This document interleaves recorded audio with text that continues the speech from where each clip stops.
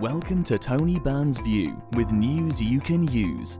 Tony has over 32 years of experience as a chartered financial planner and wealth manager. Tony's passion is to help you retire early and live the life of your dreams with no financial worries. Now to today's episode. You get what you pay for. United Income carried out extensive research on the efficiency of retirement portfolios, which culminated in a white paper which was made publicly available in January 2018. Its results were very surprising to investors, but totally unsurprising to, to financial planners. Let me explain why. Retail investment management fees have fallen by more than 50% in the past 35 years, which has been led by the trend to investing in low cost passive or index tracker funds. However, the benefits of lower prices may be undermined by other non fee costs created from features that are oversimplified or imprecise in investment products and wealth management services.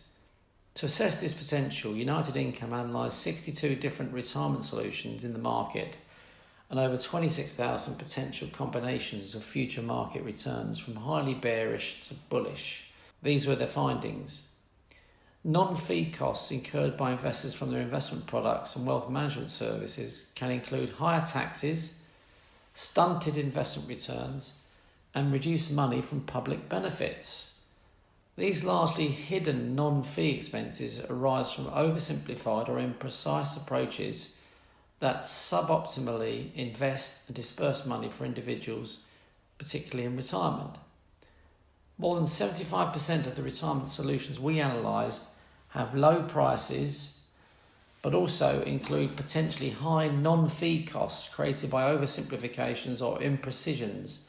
About 96% of the 62 solutions we analysed do not strive to minimise some or all non fee costs generated by their approaches, including costs created from inflated tax bills and deflated investment returns and public benefits.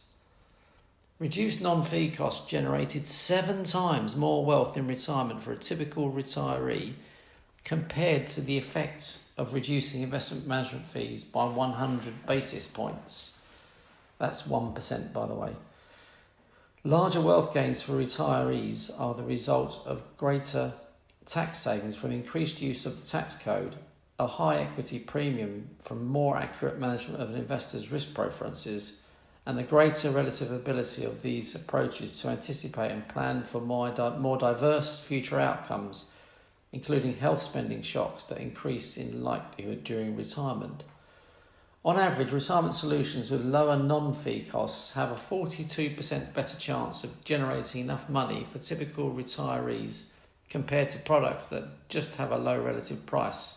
Increases in wealth are the result of greater use of public policies to increase retirement income, for example, higher social security benefits, lower tax bills, higher investment returns from more accurate management of investors' risk preferences in retirement, and other factors that reduce costly inaccuracies.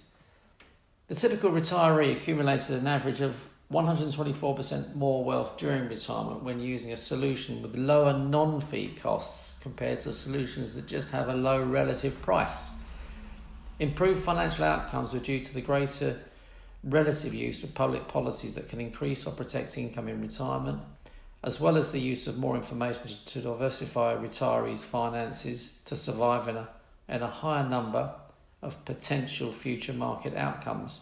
Interestingly, the financial media and regulator of the Financial Conduct Authority, most investors and many financial advisors believe that low cost passive in other words, index tracker funds, are the best solution for investors. I disagree. The results of United Income's large research study back my opinion.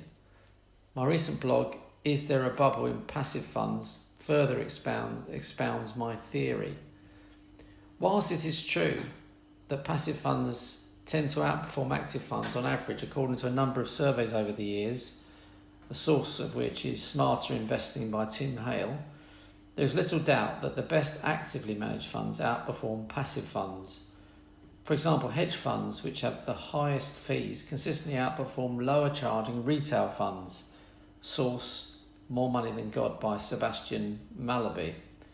Our own sister company, Minerva Money Management's CCM Intelligent Wealth Fund, is up 64.9% over the last 12 months at the time of writing.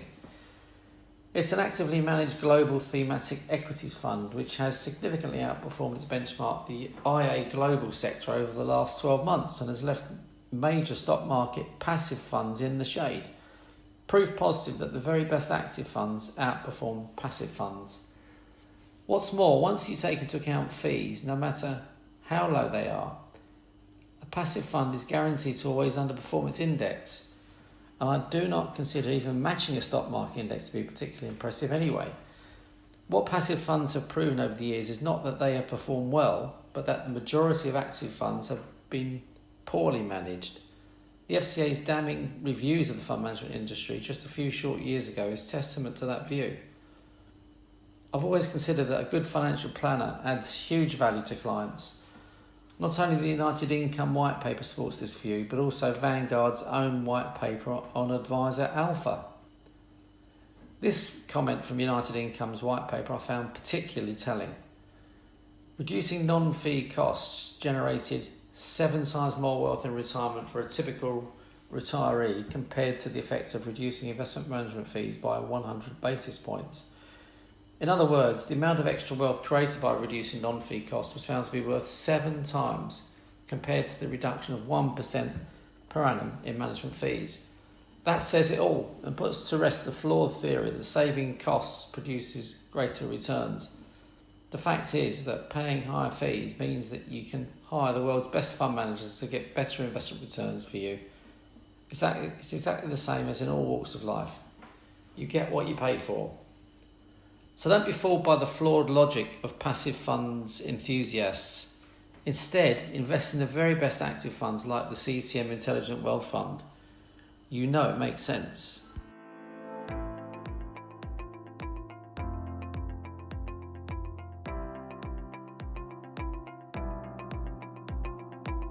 Thank you for listening to today's episode.